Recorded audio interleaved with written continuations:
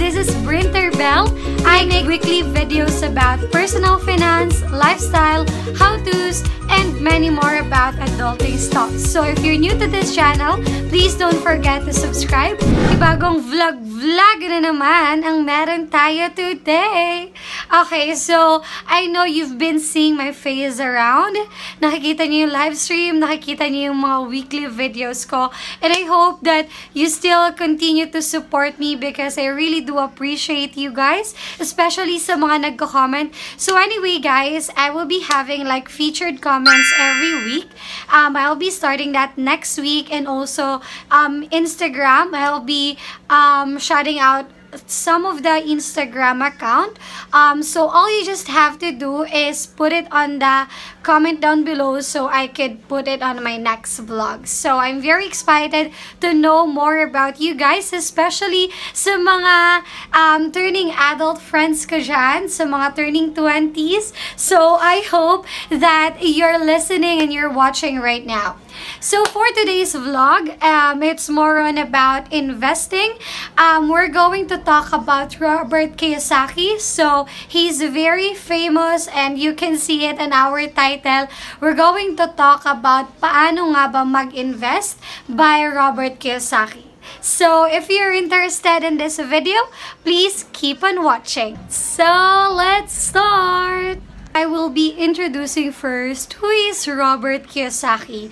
So, he is a very famous, ito siya, he is a very famous author of Rich Dad, Poor Dad. He is actually an educator, businessman, entrepreneur, and also an investor who believes that this world needs to have a lot of businessmen who create a jobs. So, I have here my book, This is actually my first personal um, finance book here. Yeah, um, Guide to Investing. This is the title of the book. So, if you're wondering where did I buy it, actually, it's on Instagram, on bookstogo.ph. So, dun ko siya binili and it's very, very fast um, transaction. Um, I just actually bought this for only 490 pesos. Um, nung una, hesitant pa ako kasi I never read a book which is ganito kakapal.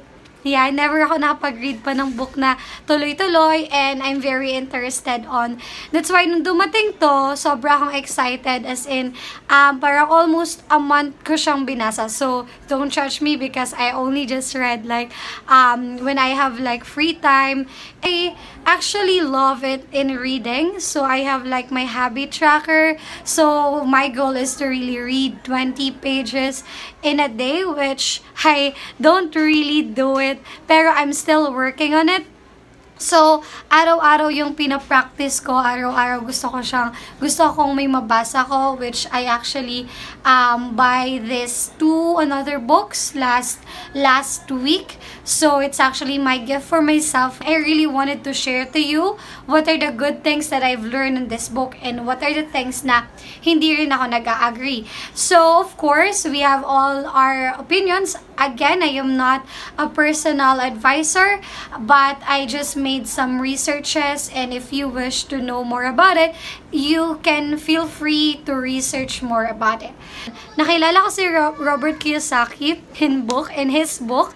Um, so, uh, kung nagtataka kayo kung bakit hindi ko binili yung Rich Dad, Poor Dad, is that because I have already an idea what is it.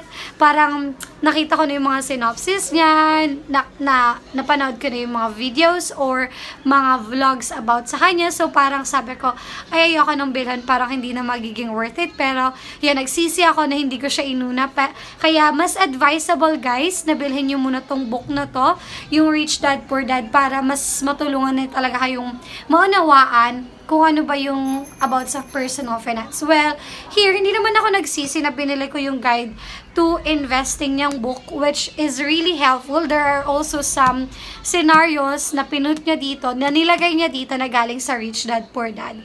Um, yeah, I've actually learned a lot and I'm still um, understanding what he meant by those words kasi may mga terms pa din akong hindi naiintindihan. That's why when you're going to invest, That means you have to really research on it. Um, pag-aaralan nyo talaga yung mga bagay, na, lalo na yung mga um, terms, so that you can really understand well. First thing is that be mentally prepared.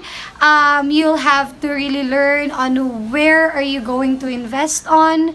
Really have to um, bank on researching, learning more about it, read a lot of books if you are really planning to invest. Because if you're going to invest, um, parang naririnig mo kasi siya, parang sobrang common niya sa uh, kaliwat kanan, gusto mong i-try lahat, gusto mong invest lahat, and then you don't have enough of funds, then mawawala lang din yan. That's why, mostly advice from personal advisor, if you're going to invest, you must have the personal or the emergency fund. So when we say emergency fund, it is where your money at like for debts, for your um, uh, personal expenses for 3 to 6 months, like 3 to 4 times of your salary. That's actually the emergency fund that we're talking about.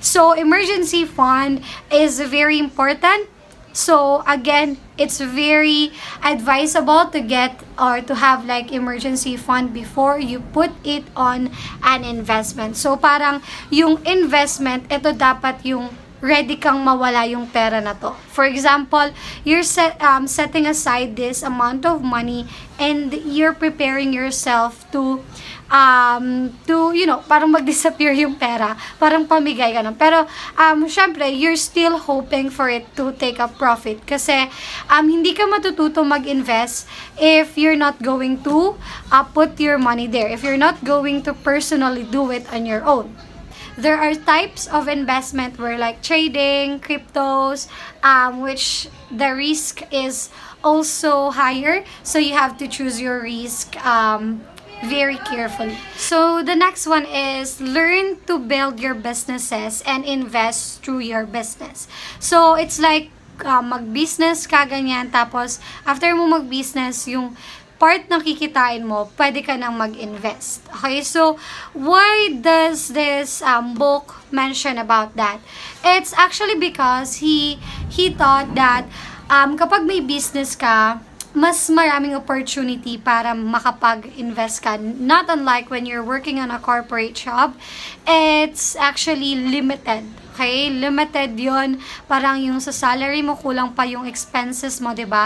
So, it's like limited yung ma-invest mo. Which, dito sa book, tinuruan din kung paano magkaroon ng business, um, wherein more technically. Which, um, na gimbal din ako doon, nagulat din ako kasi um, it's more technical explanation. So, parang nahirapan din akong intindihin yon That's why I'm still working and I'm still reading it once in a while again kasi na, madali ko siya na, na, nakakalimutan kapag more on technical stuffs yung binabanggit dito sa book. So, actually, it's a good thing when you have like a business. Um, you could really work on it. So, siya kasi, um, he the first thing, first business na na, na naggawa niya or na-produce niya is the Velcro wallet.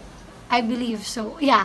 So that's actually the Velcro. There are a lot of times na nag-fail talaga yung business. So we are actually expecting that. There are a lot, a lot of stories na patuloy na you know, na ang daming times na nag-fail yung business, but in the end, they really take heart, they stand firm to really work on that. So, sabi nga doon, di ba, money will be anything you want to be. So, if you're thinking that, walang pera eh, ganyan, tas um, ang hirap. So, parang ganun din yung magiging effect sa'yo. So, kung ano yung iniisip mo kasi ganun, dito sa book, ang sinabi dito is, there are a lot of opportunities to make money. Okay, so, it's like giving like services. Dito hindi uh, sinabi na, hindi dito sinabi na mag-resign ka, mag-business ka, and then go. Dito sinabi, magtrabaho ka mag, while you're doing your business, while you are investing. So you really have to do like multitasking here. So yeah, it's actually hard, I know. Um, learning about investment, this is actually just the start. I really would like the, to let you know about what are the stuffs that Robert Kiyosaki mentioned.